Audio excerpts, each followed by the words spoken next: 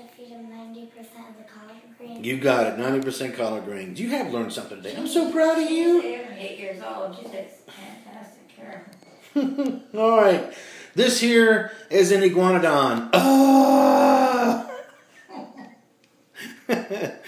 anyway, this cute little iguanodon came in for mites, of which they were smart. They washed them all off. In a minute, I'll actually do some fipronil mite treatment on them. Oh, hey, there you are. You're awake. Hello. Hey, iguanodon.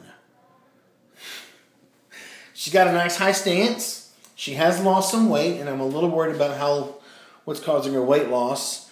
Um, so far, the fecal has been negative that I've done, but I got a poor sample. I went ahead and give given her a dose of uh, Panacur and some dewormer anyway, just to cover the bases. That was my gift, this iguanodon.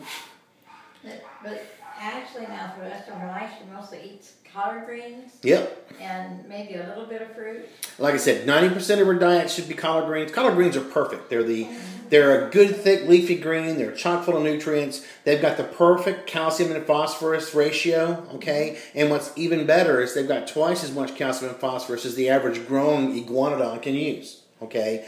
So it'd be like the perfect food.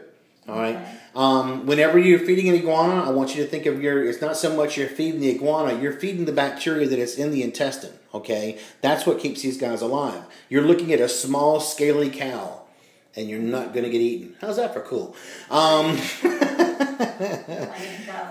so whenever you think of these guys as being that small ecosystem, if you can keep the bacteria healthy, then you can keep the iguana healthy. I mean, it takes a lot of.